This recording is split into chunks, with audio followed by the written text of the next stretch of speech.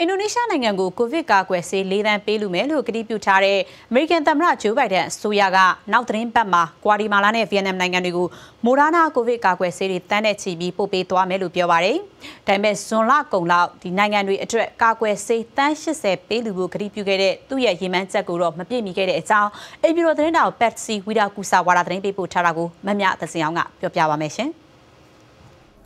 ဒီသတင်းပတ်အတွင်းမှာနိုင်ငံနှစ်နိုင်ငံကိုကာကွယ်ဆေးတွေပေးပို့မယ်လို့အိမ်ဖြူတော်ပြောခွင့်ရ Jen Psaki ကအင်္ဂါနေ့ကပြောပါတယ် Both Guatemala and Vietnam will be receiving ဂွာတီမာလာနဲ့ဗီယက်နမ်ကိုအမေရိကန်ပြည်ထောင်စုကကာကွယ်ဆေးတွေပို့ပါမယ်။ဂွာတီမာလာကမူဒါနာကာကွယ်ဆေး1.5တန်းလက်ခံရရှိမှာဖြစ်တယ်လို့ဗီယက်နမ်က9တန်းရမှာပါ။ ချမ်းသာတဲ့နိုင်ငံတွေကစီးရဲတဲ့နိုင်ငံတွေကိုကာကွယ်ဆေးထောက်ပံ့ပေးတဲ့ COVAX နိုင်ငံတကာကာကွယ်ဆေးအစီအစဉ်နဲ့အင်ဒိုနီးရှားကိုလည်းကာကွယ်ဆေး၄သန်းအမြင့်ဆုံးပေးပို့ဖို့သမ္မတဘိုင်ဒန်အစိုးရကကတိပြုထားပါတယ်။တကမ္ဘာလုံးအတွက်ကာကွယ်ဆေးတန်း980ပေးလှူဖို့အတွက်အမေရိကန်ကကတိပြုထားတာပါ။ဒါပေမဲ့လည်းဇွန်လကုန်လောက်မှတန်း80လောက်ပေးလူဖို့ပြောထားတဲ့အရေးအတွက်ကိုတော့မပြည့်မီခဲ့ပါဘူး။ဒါကတကယ်ကိုစိန်ခေါ်မှုတစ်ခုဖြစ်တယ်လို့ပြောခွင့်ရ Jen Psaki ကပြောပါတယ်။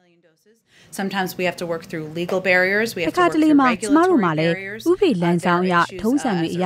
လှုပ်ထုံးလုပ်နည်းတွေကတဆင့်လုပ်ရပါတယ်။တယူပို့ဆောင်ရေးမှာအေကန်တစ်တာတွေလိုမယ်။တကယ်လို့ကျမတို့ကတိပေးထားသလိုဆေးတွေခွဲဝေသတ်မှတ်ပေးပို့ရင်တော့လက်ခံတဲ့နိုင်ငံတွေကဆေးတွေကိုလက်ခံဖို့အဆင်သင့်ဖြစ်နိုင်မလားဆိုတာလည်းလိုပါသေးတယ်။စိန်ခေါ်မှုကတော့ဘယ်ကာကွယ်ဆေးကိုရွေးချယ်ပြီးတော့ပေးပို့မလဲဆိုတာကနေစတာပါ။ အမေရိကန်မှာအပိုစုဆောင်ထားတဲ့ Pfizer နဲ့ Moderna ကာကွယ်ဆေးတွေကအလွန်အေးခဲတဲ့အခြေအနေမှာတည်ယူဖို့လိုပြီးနိုင်ငံတိုင်းကတော့ဆေးတွေကိုဒီလိုအခြေအနေမျိုးနဲ့ထိမ့်သိမ်းတည်ယူဖို့ဆိုတာအဆင်သင့်မဖြစ်သေးပါဘူး once they get there we have to know what's the expiration date on the batches စီးရီမပို့ခင်တက်တန်းကုန်ဆုံးမဲ့ရဲ့အလိုက်ခွဲခြားသတ်မှတ်ရပါတယ်စီးရယူတဲ့နိုင်ငံအနေနဲ့စီးရီကိုလက်ခံဖို့ဘယ်လိုမျိုးအာဏာပိုင်ခွင့်ပြုချက်တွေလိုမလဲစီးရီတက်တန်းမလွန်ခင်အသုံးပြုနိုင်မလားဒါတွေကိုကြည့်ပြီးပို့ရတာပါဒါကတကယ်ကိုအစပိုင်းနဲ့ရှိပါသေးတယ်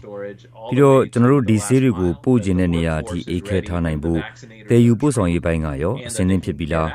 စီးထိုးပေးမဲ့သူတွေကိုတင်နန်းပေးပြီးပြီလား ဒါတွေကိုလည်းထည့်တွက်ရပါတယ်။ COVAX အစီအစဉ်ပြင်ကာကွယ်ဆေးတွေကိုတရုတ်နဲ့ရုရှားကလည်းပေးပို့တာတွေရှိတာကြောင့်ဆေးလက်ခံတဲ့နိုင်ငံတွေအနေနဲ့မတူညီတဲ့ကာကွယ်ဆေးအမျိုးအစားတွေကိုကင်တွယ်ရပါတယ်။ It shouldn't be a surprise that ထောက်ပံ့ပို့ဆောင်ရေးအပိုင်းကကြည့်ရင်ဆေးတွေကိုပို့ဆောင်ရတာခက်ခဲတယ်ဆိုတာအံ့ဩစရာတော့မဟုတ်ပါဘူး။ကျွန်တော်တို့ကလွန်ခဲ့တဲ့6လလောက်ကစပြီးလုပ်ခဲ့တာပါ။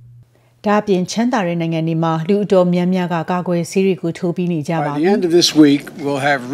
ဒီသတင်းပတ်ကုန်လောက်မှာ American ပြည်သူတန်း160လောက်ဆေးအပြည့်အဝထိုးပြီးဖြစ်လိမ့်မယ်လို့သမ္မတဘိုင်ဒန်ကပြောတာပါ။ဒီကယောဂါကိုအမြင့်ပြတ်တိုက်ထုတ်ဖို့ American